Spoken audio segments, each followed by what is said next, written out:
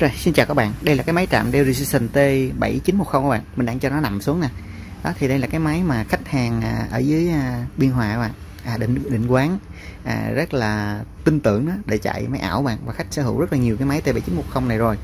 À, hôm nay cũng giống như cũ á, mình sẽ setup cho khách hàng một cái thùng máy T7910 à, chạy hai CPU. Tuy nhiên hai CPU lần này là hai CPU E52699V3 các bạn. À, 99V3 thì là trùm cuối của dòng V3 rồi. Nó với 18 core 36 luồng 145W TDB mỗi CPU các bạn à, tổng cộng là 72 luồng 36 coi 72 luồng. À, à, các bạn thấy RAM là gắn nè gắn là gắn theo cầu bạn. Ví dụ sau khi mình gắn bốn khe trắng hết rồi thì máy đã chạy quạt cho nồi rồi các bạn. Thì tiếp theo các bạn sẽ Intel thêm RAM cho đủ dung lượng khách yêu cầu. Ví dụ trong trường hợp ở đây là khách hàng sử dụng à, tới à, nhiêu? 14 khe các bạn 14 và nhân cho 32 nó sẽ là 448 GB các bạn. Rồi SSD thì sẽ có hai cái một cái NVMe Samsung à, 256 GB để chạy Windows các bạn hệ điều hành Windows. Rồi tiếp theo nữa là à, mấy bạn biết chạy WinWare máy ảo thì nó sẽ có cái um, SSD hoặc là ổ cứng. Thì SSD có hai loại SATA hoặc là NVMe các bạn. Thì dùng NVMe thì tốc nó sẽ nhanh hơn rồi cho trường hợp mà chúng ta sử dụng quá nhiều máy ảo.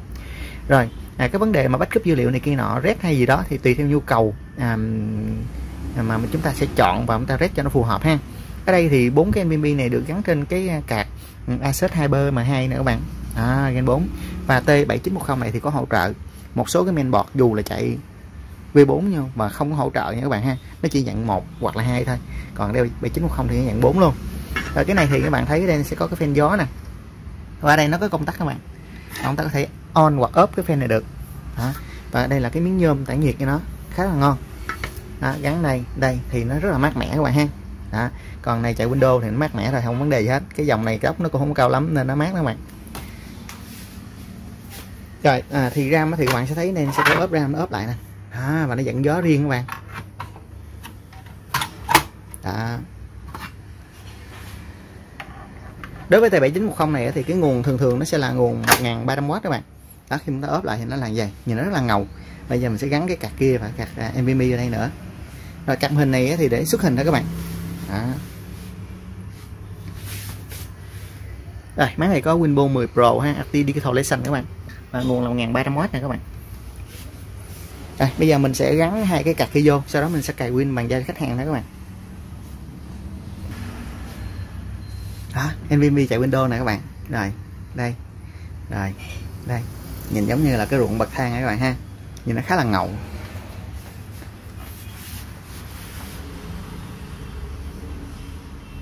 Nếu cái quạt này, nè mấy bạn thấy nó đang quay nè. Còn chúng ta muốn ờ, không cho nó quay cũng được. Chúng ta sẽ bật tắt công tắc đi các bạn. Đó nó dừng lại nè các bạn. Rồi quay nè. Đó. rồi đây là cái màn hình à, vào Windows nè các bạn. À, à 2699V3 nè các bạn. Sung 2.3 mắt turbo là 3.6 Total 36 cao 72 luồng RAM 448GB Windows 10 Pro 22H2 mới nhất các bạn ha. Càng ngày hôm nay luôn 22 tháng 12 rồi đây các bạn ha 96 về 99 về 3 này các bạn. Đã 36 core 72 luôn. RAM 448 GB thì các bạn thấy á, là RAM nó sẽ có tất cả là 16 khe mà giờ là xài hết 14 khe này các bạn còn trống hai khe thôi. Rồi đó đây Samsung chạy Windows nè và những cái NVMe khác á, là để chạy à, để chứa dữ liệu của máy ảo đó các bạn. Rồi card hình là quạt rồ K224 GB đó. Đó các bạn thấy không? À, 4 NVMe luôn nè các bạn. Samsung dòng Enterprise 960GB nữa các bạn. Đó. Rồi. Máy này thì có Windows 10 Pro, Active with Digital Edition các bạn.